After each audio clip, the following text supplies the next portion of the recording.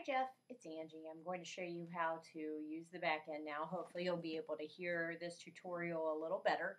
So what I'm going to do first is in this tutorial I'm going to show you how to get to the back end of the website. And what I want you to do is go ahead and click on the link that I sent you and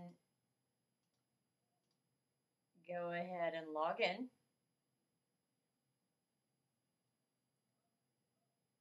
This is the control panel. This is what you'll see every time that you log into the system through the back end. And really what you'll need to do on the back end is simply, um, well, you can add the vehicles here too, but um, what we're going to do now is simply add the different um, makes and models and um, different features and things that go along with each vehicle, so or each camper. So what we're going to do is I want you to go to Components, go down to EXP Autos and click on that. Since it's a component, it typically has its own control panel, which you see right here. And what we're going to do first is I'm going to show you the categories. I made you very generic categories. Um, I've learned from other dealers and from doing websites in the past, the easier you easier you make it for yourself and for your surfers or visitors to the site, the better. The more you'll sell. So what I did is I um, categorized them into vehicles, trailers, tent campers, and boats. If you want to add anything else, this is where you would do it.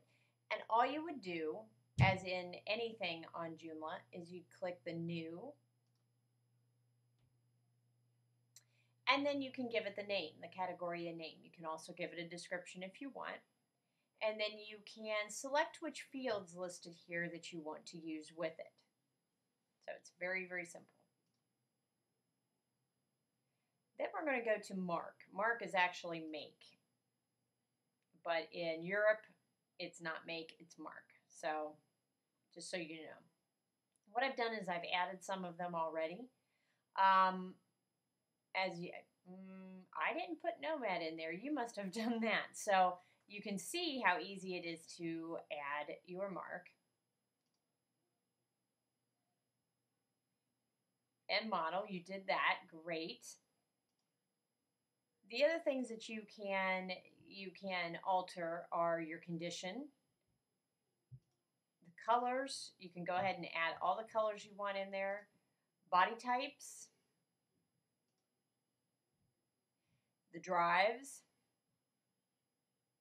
Fuel should be fine. Um, you'll probably want to add other transmissions maybe. Currency's okay.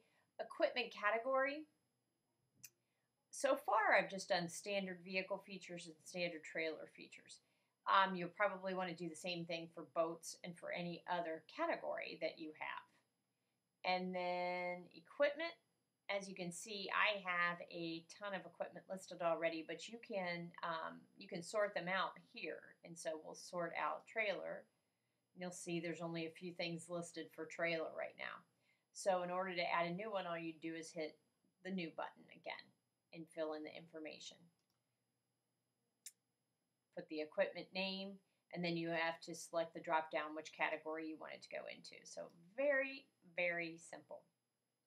So now we're going to go back, we're going to go actually to the ad manager. Here is where you're able to keep track of all the vehicles or campers that you have in the system.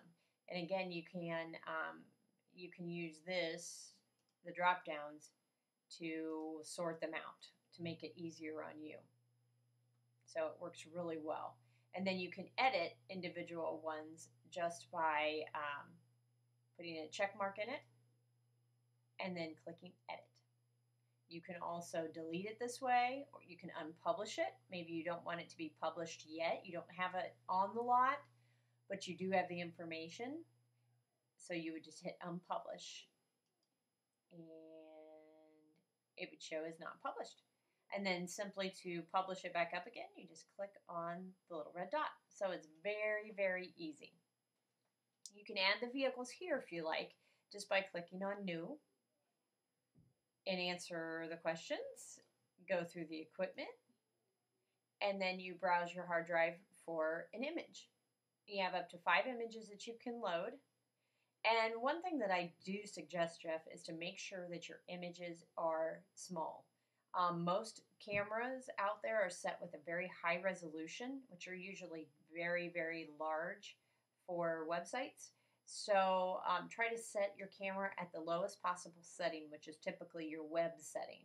Um, and it should take the photos with the size that would be good for loading up to uh, da, da, da, da, da, or loading up onto the website.